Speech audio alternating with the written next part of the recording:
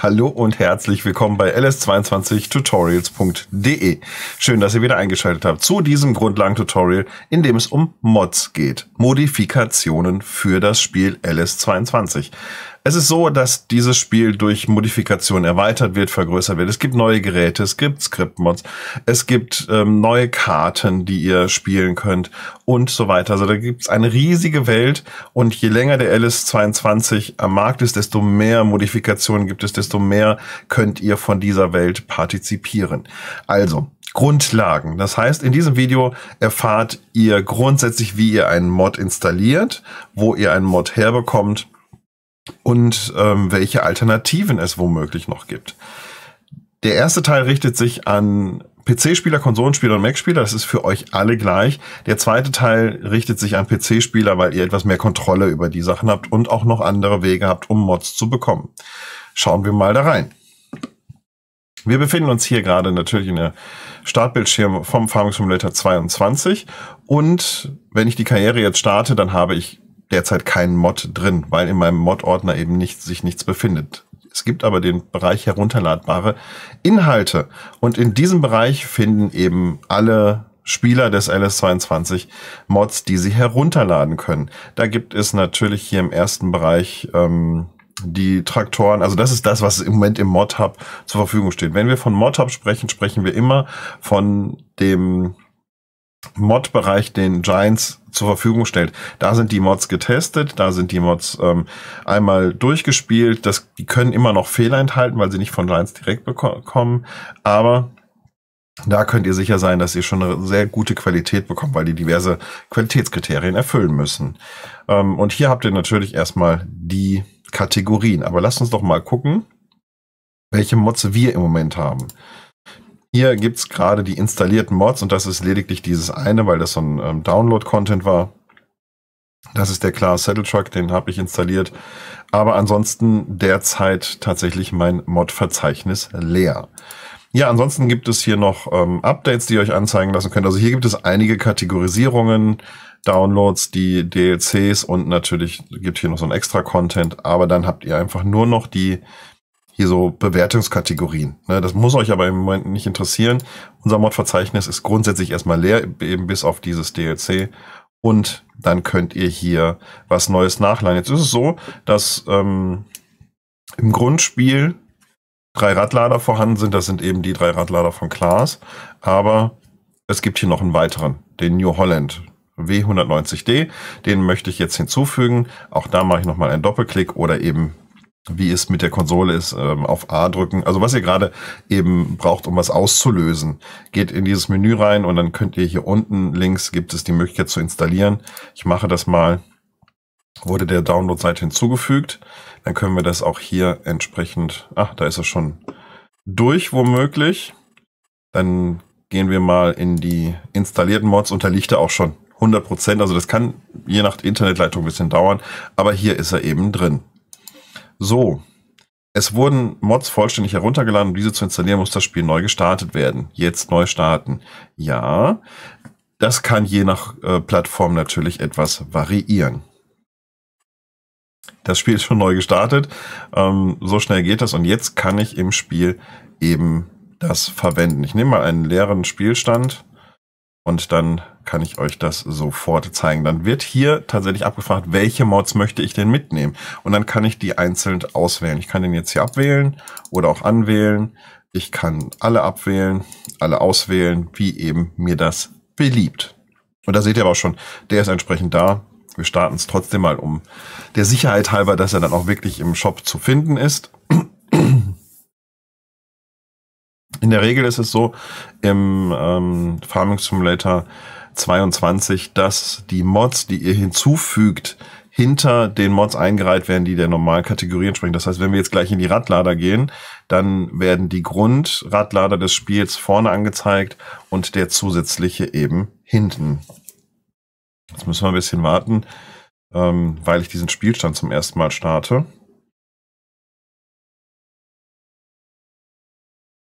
Währenddessen kann ich schon mal sagen, dass der, ähm, also es ist wirklich nicht schwerer. Ne? Das ist die Möglichkeit, wir können uns gleich nochmal angucken, wie ihr aus dem Mod-Hub von Giants als PC-Spieler die Mods nochmal extra rausbekommt, ohne die jetzt hier im Spiel installieren zu müssen. Zu müssen, in Anführungszeichen. Ähm, für die Konsolenspieler und die ähm, wird es halt ist es auf diesen Mod-Hub beschränkt. Ihr könnt halt wirklich aus diesem Mod-Hub heraus Mods laden und könnt, kriegt auch nur die angezeigt, die ihr dort runterladen könnt. Bei den Mac-Spielen kann ich nicht genau sagen. Ähm, ich gehe aber davon aus, dass auch ihr anderweitig noch ähm, Mods bekommen könnt. Da müsst ihr halt suchen, wo euer Mod-Ordner ist. Also ihr könnt ein bisschen dranbleiben und gucken, wie es beim PC funktioniert. Dann werdet ihr im Folgenden sehen, wie das auch... Ähm, da müsst ihr halt einmal rausfinden, wo euer na, müssen wir eben aussuchen, wo euer Mod-Ordner ist und ich denke, da könnt ihr den dann auch entsprechend reinlegen. Nein, eine Tour will ich gar nicht, ich möchte doch nur in den Shop. So, also ich habe den Shop aufgerufen und da gibt es eben die Kategorie Radlader. Und da seht ihr, jetzt habe ich tatsächlich diesen New Holland und da unten steht rechts in der Ecke auch schon so ein kleines Mod. Das bedeutet eben, dass das ein zusätzlicher Mod ist, den ich heruntergeladen habe und den ich nutzen kann. Ja, und Kombinationen, ihr seht, der ist so vorbereitet, dass der auch die Kombinationen hat und die ganzen Anbaugeräte von den Radladern verwenden kann. Das heißt, der hat keine eigenen Schaufeln mitgebracht, sondern das sind alles die Standardgeräte, könnt ihr aber genauso gut daran packen. So, das soll es eigentlich zum Thema In-Game gewesen sein. Ähm, ich werde das Spiel einfach mal eben beenden. So, und jetzt seht ihr auch schon, das hier ist mein Mod-Ordner auf meinem Rechner. Den findet ihr auf dem PC üblicherweise in dem Bereich Dokumente, My Games, Farming Simulator 22, Mods. Das ist ein Ordner, der ist bei euch, wenn ihr damit startet, leer. Jetzt liegt hier, weil ich den eben installiert habe, schon ein Mod drin, eine ZIP-Datei. Wenn ihr mit Freunden zusammenspielen wollt, könnt ihr genau diese ZIP-Datei einfach an die Freunde weitergeben. Die können die bei sich in den Mod-Ordner legen und dann könnt ihr spielen. Ihr braucht also das gleiche Mod-Set, um das spielen zu können. Wenn der Mod im Spiel aktiviert ist, müssen auch eure Freunde das haben. Ähm, so, jetzt gibt es aber noch eine zweite Möglichkeit, eben daran zu kommen. Und dafür rufe ich mal eine Webseite auf. Die übliche Webseite ist farmingsimulator.com. Wir geben das mal eben hier ein, nicht in die News. So, und da seht schon, das ist die übliche Seite des Landwirtschaftssimulators und da gibt es unter anderem einen Menüpunkt Mods. Und hier findet ihr die Mods, die derzeit angeboten werden. Das ist, weil wir frühzeitig im Farming Simulator sind, sind das noch relativ wenige. Beim ähm, 19er waren das nachher wirklich, ähm, also ich, hunderte von Seiten, würde ich schon fast sagen, die da ähm, gelaufen sind. Also ur viele Mods, die da drin sind. Jetzt seht ihr hier, das ist dieser Radlader, den wir auch runtergeladen haben. Den könnte ich jetzt hier nochmal runterladen. Das ist aber der gleiche, den ich auf der Platte schon habe. Ich möchte aber zum Beispiel, ähm, ja, lasst uns doch mal hier diese Player-Action-Kamera nehmen. Wir gucken mal, was die kann. Das ist ein Script-Mod. Und dieser Script-Mod sagt hier, ermöglicht das Sichtfeld per Maus zu bewegen und anzupassen. Das Mausrad beeinflusst die Spielerhöhe. Das heißt, mit dem Mausrad könnt ihr dann hoch ähm, aus diesem Feld raus. Ähm, okay, und wir können sogar ranzoomen. Oh, das gucken wir uns doch mal an. Das ist doch ein spannender Mod, den wir auch mal testen können. Wir haben ja jetzt schon einen Gerätemod und jetzt möchten wir mal einen Skriptmod haben. Ich lade den herunter und dann kommt der in meinem Download-Ordner als ZIP-Datei an. Das seht ihr hier, dieser PC Downloads, üblicherweise da eben, wo eure Downloads üblicherweise liegen. Jetzt kann ich den hier ausschneiden. Ich mache die Seite mal wieder kleiner. Ich schiebe den jetzt von dem Download-Verzeichnis eben in den Mod-Ordner. den müsst ihr, wie gesagt, einmal aufrufen. Und jetzt habe ich da zwei Mods drin liegen. Starte mal den LS22. Ja, clevererweise hätte ich jetzt gerade das ähm, Safe Game einmal gespeichert, damit es schneller geht. Aber gut, ähm, wir starten wieder ein neues Safe Game. Das ist übrigens nicht nötig. Ihr könnt auch bei bestehenden Safe Games ähm, euer Spiel starten und neue Mods reinlegen. Die bekommt ihr dann entsprechend angezeigt, wenn ihr das Spiel hier startet. Ähm, neuer Farmer, ja, ist ja egal. So, Elm Creek wählen wir aus. Und dann haben wir hier schon ein neues Tool, eben einen neuen Mod. Achtet darauf bitte, dass der wirklich auch aktiviert ist. Player Action Kamera. So, und dann hoffen wir mal, dass das jetzt einigermaßen zügig geht. Also, wie gesagt, Farming Simulator, das ist der gleiche Weg. Ihr könnt es auch direkt ähm, hier im Spiel machen. Ihr könnt die auch hier im Spiel runterladen. Oder wenn ihr auf der Webseite seid, eben diese ZIP-Datei runterladen und eben bei euch in den Mod-Ordner legen. Da gibt es eben keinen Unterschied. Das ist für das Spiel irrelevant. Das ist nachher das gleiche. Ähm so, nein, keine Willkommenstour. Nein, weiß ich alles. So. Und jetzt ähm, haben wir natürlich nichts im Shop, sondern wir müssen die Anweisung befolgen, die der Mod uns eben gesagt hat.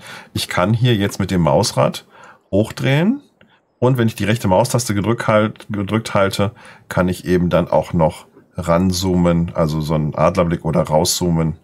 Das ist doch eine schöne, ja, ist doch ein schöner Mod. Also das geht grundsätzlich natürlich nicht. Wenn ich auf das Mausrad drauf drücke, komme ich raus. Also so kleine, kleiner schöner Mod, der uns hilft, ähm, mal die Übersicht zu behalten, würde ich sagen. Player Action Kamera. Ja, das aber nur nebenbei. Das ist für die, für das Installieren von Mods natürlich irrelevant. Das braucht euch nicht so also wie der Mod hier funktioniert.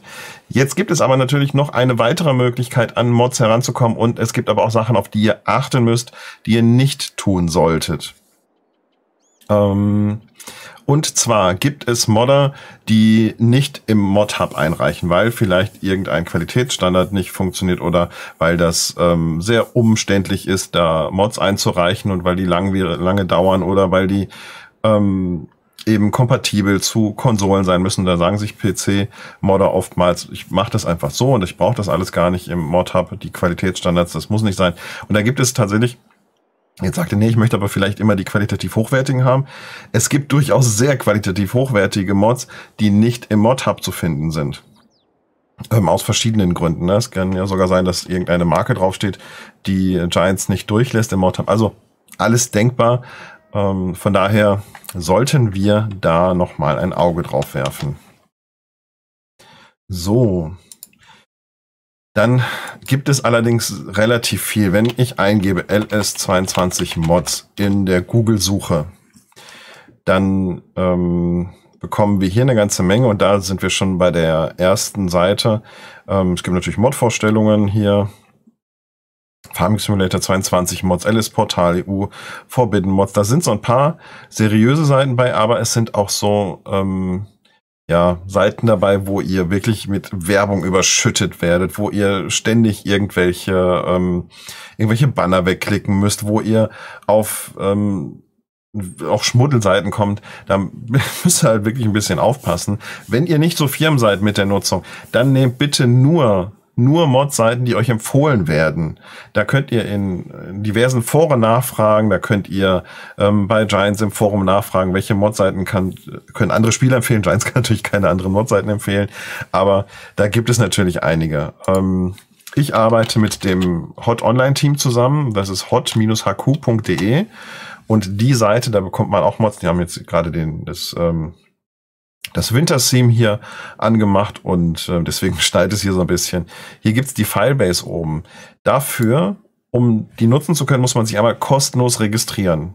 In dem Fall ist es wirklich, also ich kann das sehr guten Gewissens empfehlen, diese Webseite, weil man sich eben hier nur kostenlos ähm, registrieren muss und auch nicht mit Werbung eben zugepflastert wird, sondern man kann seine Mods dann nach sofort herunterladen. Und ihr seht schon hier in der Firebase laufen schon einige Mods durch. Hier gibt es dann entsprechenden Slider. Ja, da gibt's sogar hier den Deutz von der MH Edition. Das ist eben die Mario Hirschfeld Edition. Und ihr findet diese Kategorien hier auch nochmal runter. Also gibt hier Maps, Modpacks. Aber ihr seht auch hier ähm, für den LS22 noch sehr übersichtlich. Ähm, das hier müsst ihr aufpassen, das ist zum Beispiel kein Mod, sondern das ist eine Installationsdatei. Also lest euch so ein bisschen durch, was es dazu gibt. Aber wir suchen uns doch mal einen Mod. Also LS22 Hip Mods, das ist die Hirschfeld Important Person Mods. Ähm, die bekommt, könnt ihr entsprechend hier raussuchen. Da wird es auch in Zukunft noch weitere geben, die dazu kommen. Hier gibt es ein Silo, aus dem ihr alles ähm, alle Sachen kaufen könnt, so dass ähm, falls es irgendwas auf der Karte gibt, was ihr gerade braucht und nicht habt, ähm, Ja, und hier gibt es noch alles 19 Mods. Also wenn ihr weiter runter scrollt, kriegt ihr für den Landwirtschaftssimulator 19 die Mods. Aber wir wollen das auch jetzt mal austesten. Ähm, Fahrzeuge und Maschinen von HIP. Da gibt es schon zwei. Es gibt einen 9er Deutz, den es eben so noch nicht, ähm, nicht mehr im Spiel gab und eine 8er Deutz. Wir ziehen uns doch jetzt mal den, den 8er Deutz, den in der Custom-Variante. Dann rufe ich den auf, dann kann ich mir das hier noch angucken. Dann gibt es hier noch Screenshots, ähm, wie man den eben umbauen kann. Ich sehe, da ist eine entsprechende Farbwahl drin und eine erweiterte Motokonfiguration steht hier drin. Ist natürlich noch sehr früh, deswegen ähm, gibt es noch keine ähm, riesigen Benefits, außer eben der Farbwahl und der Motorkonfiguration. Auch den herunterladen, dann kommt der in meinen Download-Ordner. Ähm, nichts anderes als auf der Farming Simulator.com Seite. Dann schneide ich mir den mal aus und lege den auch wieder hier rein. Ja, und jetzt habe ich hier einen Deutz drin, den New Holland und die Player Action Kamera. Und auch das probieren wir nochmal aus. Wie gesagt, es gibt ganz viele, das sind sogenannte Mod-Klau-Seiten. Wenn ihr davon schon mal gehört habt, von Mod-Klau-Seiten, dann, ähm, oder von dem Namen, dann wisst ihr jetzt, was ich meine. Es ist so, dass die einfach nur Mods von allen Seiten, sogar von der Farming Simulator.com Seite, die Mods zusammenziehen, die laden die herunter, um Werbung auf ihren Seiten auszuspielen und um euch da eben die Klicks ähm, machen zu lassen. Das ist, ähm, in der Regel zahlt ihr da nicht für. Das ähm, auch sowas gibt es, da ist übrigens der Deutz drin, den starten wir jetzt mal. Ähm, auch sowas gibt es tatsächlich. Ihr müsst für Mods nicht bezahlen. Mods sind kostenlos. Sobald ihr dafür was bezahlen müsst, um das, die zu bekommen, ist das nicht mehr mit den Richtlinien von Giants vereinbar. Also bitte, zahlt nicht für Mods. Dafür gibt es eben den Mod-Hub. Da ähm, werden Modder äh, mit zu einem bestimmten Anteil entlohnt für die Anzahl der Downloads, die der Mod bekommen hat. Da gibt es also eine kleine Vergütung von Giants dafür. Ähm, so. Und jetzt wollen wir natürlich auch da gucken, ähm, der Traktor und der mittelgroße Traktoren hinten rechts. Das ist eben genau das. Das würdet ihr zum Beispiel, also dieses, dieses Brand hier, diese ähm, Real Senior Modding, das würdet ihr nicht sehen, wenn das aus dem Mod Hub käme, weil die eben feste Marken verbaut haben und dieses Brand nicht verändert haben möchten in der Variante. So, und hier gibt es dann die Möglichkeit, entsprechend den Mod ein wenig zu verändern. Ne? Könnt ihr so ein bisschen Farbwahl auswählen. Es gibt eine höhere Motorkonfiguration mit deutlich mehr PS und ansonsten die üblichen Verdächtigen hier im Spiel. Felgenfarbe könnt ihr noch anpassen. Aber wie gesagt, eine Modifikation, die ein bisschen mehr Farbe wortwörtlich ins Spiel bringt und mit der ihr entsprechend arbeiten könnt. So, das war grundsätzlich das Tutorial zum Thema Mods. Achtet ein bisschen auf die Seiten. Lasst euch Seiten empfehlen, wenn ihr unsicher seid, von welcher Seite ihr Mods runterladen könnt. Ansonsten legt die in euren Mod-Ordner hinein. Und ich kann euch jetzt schon sagen, es wird ein weiteres Tutorial geben zum Thema Mod-Ordner Verwaltung. In dem Tutorial werden wir darüber sprechen, wie ich mehrere Mod-Ordner anlege, weil es eben sein kann, dass ich sage, ich habe jetzt ein Projekt, ich spiele das auf der Elm Creek mit dem und dem Modset und dann spiele ich eins auf der Eau Belleron oder auf einer ganz anderen Karte und das sind unterschiedliche Modsets und ihr möchtet irgendwann nicht mehr 800 oder 400, 300, 200 Mods in einem Ordner liegen haben. Das hat auch mit Performance zu tun. Ähm, da kommen wir dann in einem weiterführenden Tutorial dazu. So lange bis das da ist, hoffe ich, könnt ihr mit diesem ähm, Ordner auskommen. Und dann würde ich sagen, ähm, viel Spaß dabei. Lasst ein Däumchen unter dem Video da und einen netten Kommentar. Und dann viel Freude mit den ganzen Mods, die ihr da so findet. Alles Gute, bye bye und ade.